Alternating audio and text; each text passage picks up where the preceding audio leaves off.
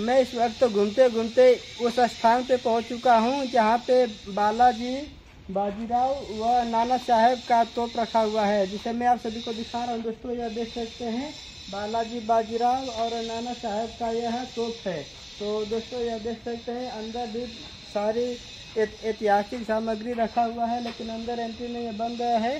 तो दोस्तों, बाहर पे देख सकते हैं, यह तोप रखा हुआ है, जिसे आप लोग देख सकते हैं। दोस्तों जब मराठों के बीच युद्ध हुआ था तो इसी तोपों से युद्ध को नाना साहब और बाबा और बालाजी बाजीराव ने युद्ध लड़ा था। तो कुछ इस तरह का यह तोप है। देख सकते हैं दोस्तों, बहुत ही खतरनाक यह तोप है और एक दूसरा तोप यहाँ यहाँ पे रखा हुआ है। देखेंगे, यह दूसरा तोप यहाँ पे रखा हुआ है। इसे, इसमें गोले भर भर करके अंग्रेज़ों यानी कि मुगल जो आए हुए थे भारत में, उन लोगों पे दाग दिया करते थे। और यहाँ का कुछ इस तरह का है, यह है तोप है। और यहाँ पे देखेंगे दोस्तों, यानी कि यह है तलवार और ढाला है। यानी कि बनवाया गया है दरवाजे पर, और यहाँ पे देखेंगे, एक घोड़े पर एक राजा विराजमान है, जो कि बालाजी पेशवा जी हैं। और यहाँ पे उनका घोड़े के साथ बहुत ही खूबसूरत तस्वीर है। यानी कि मूर्तियाँ बनवाया गया है और यहाँ पे देखेंगे यह है।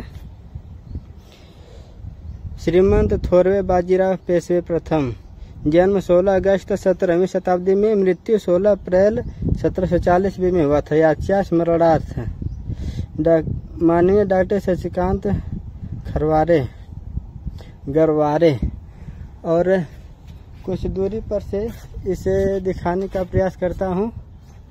यह बाजीरावा का यह स्टैचू है, उनका यह घोड़ा है, और भगवा कलर का यह झंडा आप लोग देख सकते हैं। पत्थर से निर्मित दीवारों को देख सकते हैं। और पीछे देख सकते हैं कि बहुत ही बड़ी खूबसूरत मंदिर है, वहाँ भी आप सभी को दिखाएँगे। इससे पहले कि बाजीराव पेशवा को देख सकते हैं।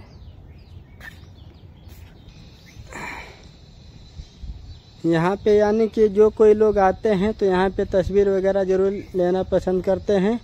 और यहाँ पे जो पिलर है, इसके ऊपर देख सकते हैं।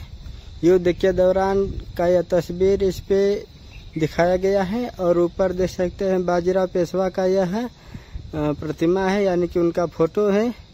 और तमाम युद्ध के दौरान जो लड़ाइयाँ हुई थी, उन्हें यहाँ पे दर्शाया गया है। और यहाँ पे देखेंगे दोस्तों, बाजीराव बाजीराव पेशवा व नाना साहब का यह जो किला है, उसे आप लोग देख रहे हैं। और इस किले पे से उनकी जो सेना थी वो यहाँ पे तैनात हुआ करते थे यानी कि जो नीचे से पहाड़ पर यानी कि इस किले पर जो मुगल मुगलिया शासक थे वह ऊपर आते थे तो ऊपर से ही नाना साहब और उनके सेना जो कि तोप से गो, गोलों से दाग दिया करते थे और यह वह रास्ता है जो कि नीचे से ऊपर आता है जिसे आप लोग देख पा रहे हैं दोस्तों और यह ईट और पत्थरों से निर्मित दीवारों को देख सकते हैं आप लोग। यह रास्ता है जो कि किले में प्रवेश करने के लिए बनाया गया था। जस्ट मेरे बगल पीछे में देखेंगे दोस्तों, बहुत ही खूबसूरत नज़ारा है। कुछ इस तरह से सीढ़ियाँ यहाँ पे बनवाया गया है, जिसे आप लोग देख सकते हैं। यहाँ पे काफ़ी खूबसूरत सीन देखने के लिए मिल रहा है, जिसे आप लोग देख रहे हैं दोस्तों। तो आइए हम लोग इसके ऊपर प्रवेश करते हैं और कुछ इतिहास वगैरह ऊपर है, उसे भी दिखाने का प्रयास करते हैं। यह जो दीवार देख सकते हैं दोस्तों, यह यहाँ पे सेना तैनात हुआ करते थे। यहाँ पे इस गली में सेना तैयार हुआ करते थे और यहाँ से जो कि उनके सेना जो लेट करके नीचे निगरानी किया करते थे कि किले में कोई एंट्री नहीं कर रहा है, उसके लिए यहाँ पे देख सकते हैं, सेना मौजूद रहते थे और मोटी मोटी दीवारें देख सकते हैं यहाँ पे। सत्रहवीं शताब्दी में इस किले का निर्माण करवा गया था। और यहाँ भी देखेंगे आप लोग, यहाँ भी यानी कि यहाँ से भी निगरानी किया करते थे लोग और पुरानी दीवारों को देख सकते हैं, जो कि किले का लहरी ईटों से निर्मित दीवारें हैं। और यहाँ पे देखेंगे दोस्तों नाना साहब और बाजीराव पेशवा के जो सेना थे वे लोग यहाँ पे रहा करते थे। और इस यहाँ पे सेनाओं का रहने का ले, रहने के लिए यह है वह स्थान है यानी कि जो ऊपर का रेलिंग वाला हिस्सा है उस पे से सेना तैनात हुआ तैनात रहती थी। और, देख सकते हैं कुछ पतली ईटें हैं। इसी, इन्हीं ईटों से इन किलों को बनवाया गया था और बाद में इस मंदिर को निर्माण करवाया गया है। यानी कि किलों को तोड़ करके इस मंदिर का निर्माण करवाया गया है। और, यहाँ का चारों तरफ़ का नज़ारा मैं आप सभी को दिखाने का प्रयास कर रहा हूँ। इन दीवारों को देख सकते हैं दोस्तों। यह वही दीवारें हैं जो कि सत्रहवीं शताब्दी में बनवाए गए थे, जिसे नाना साहब ने बनवाया था और बाजीराव पेशवा ने बनवाया था। और यहीं से जो कि उनके सेना थे, यहीं से अवलोकन किया करते थे कि मतलब जो दुश्मन थे, मुगलिया शासक, वह कहीं मराठों पे हमला तो नहीं कर रहे हैं, उसके लिए यहाँ से नाना साहब का जो सेना थे, वो यहीं से निगरानी किया करते थे। तो दोस्तों, यहाँ पे घूमने के बाद काफ़ी अच्छा लग रहा है। अब अगर आप लोग, आप लोगों को मौका मिले तो इस किले पर आकर ज़रूर घूमें। इस किले को तोड़ करके देख सकते हैं, यहाँ पर मंदिर बनवा दिया गया है। यह नाना साहब और बाजीराव पेशवे का यह इतिहास है, जिसे मैंने आप सभी को दिखाया। और इस किले पर जो मंदिर बना हुआ है, दोस्तों देख सकते हैं, काफ़ी खूबसूरत यह मंदिर बना हुआ है। इसके निकासी नकाशे देख सकते हैं, काफ़ी भव्यता दिखने के लिए मिल रहा है। और मंदिर में एंट्री करते वक्त मैं आप सभी को दिखा रहा हूँ कि यह माँ काली जी का, यह मंदिर है। काफ़ी खूबसूरत मंदिर है, दोस्तों देख सकते हैं। और यहाँ पे विश्राम करने के लिए है। बहुत ही मोटी मोटी दीवारों से निर्मित इन दीवारों को बनाया गया है। सुर्खी चूने पत्थर से निर्मित दीवारों को देखने के बाद ऐसा लग रहा है कि यह पत्थर से इन दीवारों और मंदिरों को बनवाया गया था। और और सामने देख सकते हैं, एक गणेश जी का मंदिर है।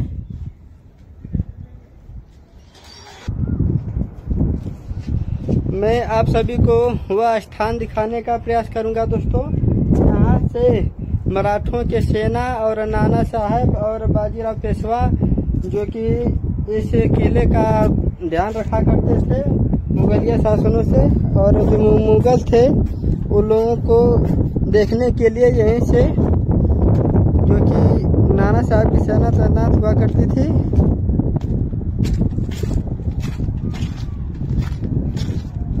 चारों तरफ़ का नज़ारा पहले आप लोग देखेंगे दोस्तों, और यह देख सकते हैं कितनी बड़ी बड़ी पत्थर से इन किलों को बनवाया गया था।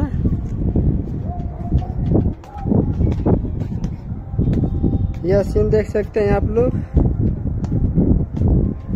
यह लोग राजस्थानी हैं। राजस्थान से बिलोंग करते हैं। इस पहाड़ पर देख सकते हैं, इस किले में यही वह दीवारें हैं, जिन्हें नाना साहब ने बनवाया था और बाजीराव पेशवे ने बनवाया था। देख सकते हैं, और पीछे से इस किले का व्यू देख सकते हैं आप लोग दोस्तों। इस किले का यह पीछे का हिस्सा है, जो कि बड़ी बड़ी पत्थर के चट्टानों से निर्मित दीवारें देखने देखने के लिए मिल रहा है। सत्रहवीं शताब्दी का यह किला बना हुआ है। और इन दीवारों को देख सकते हैं। यहाँ से देख सकते हैं दोस्तों, यह नाना साहब का किला दिख, बहुत ही बड़ी दिख रही है। और पहाड़ पर यह किला बना हुआ था, जिसे तोड़ करके मंदिर बनवा दिया गया है। अंदर जब भी आप लोग घूमने आएँगे तो मंदिर बना हुआ है। और यह किले में प्रवेश करने के लिए यह मुख्य रास्ता हुआ करता था। यानी कि इन्हीं रास्तों से इस किले में आया करते थे लोग। और आसपास का यह नज़ारा है, जिसे आप लोग देख रहे हैं। और यह इन दीवारों को देखेंगे। यह पत्थर से किस तरह से भरा के आई से देखेंगे।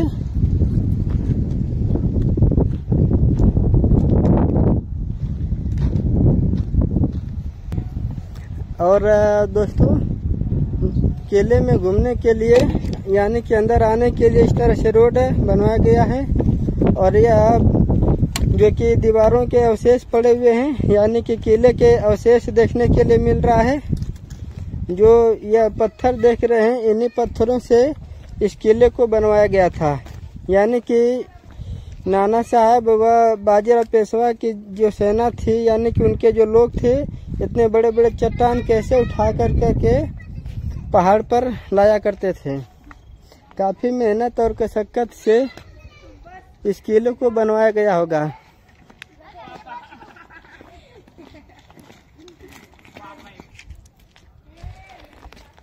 और किले के दीवारों पे देख सकते हैं, बाद में कटेली तारों से इन दीवारों को सुरक्षा किया गया है, यानी कि किले को सुरक्षा दिया गया है।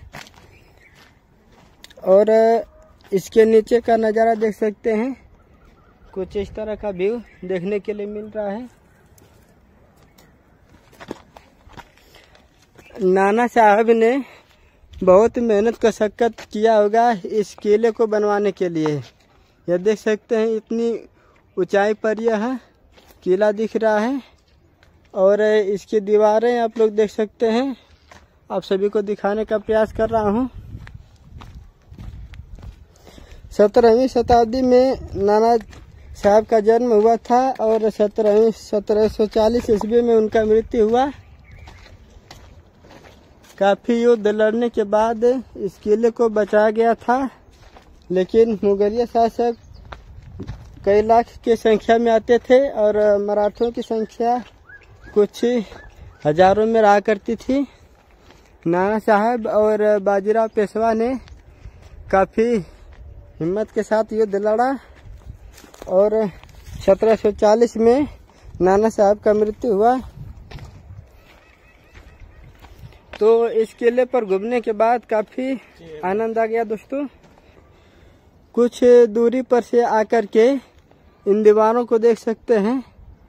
काफ़ी ऊंचाई पर इस किले को बनवाया गया था और किले के दूसरे हिस्से में जाने के लिए यह रास्ता है, यानी कि यह एक और रास्ता है किले में प्रवेश करने के लिए।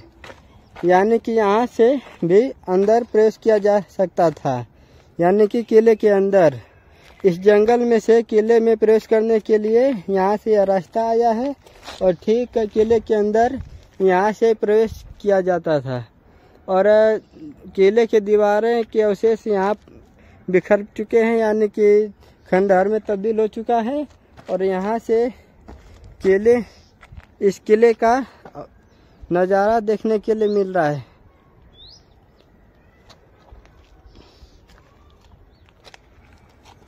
तो दोस्तों, फाइनली इस वीडियो को मैं यहीं पे समाप्त कर रहा हूँ। काफ़ी वीडियो लंबा हो चुका है। अगर पसंद आया हो तो शेयर ज़रूर करिएगा।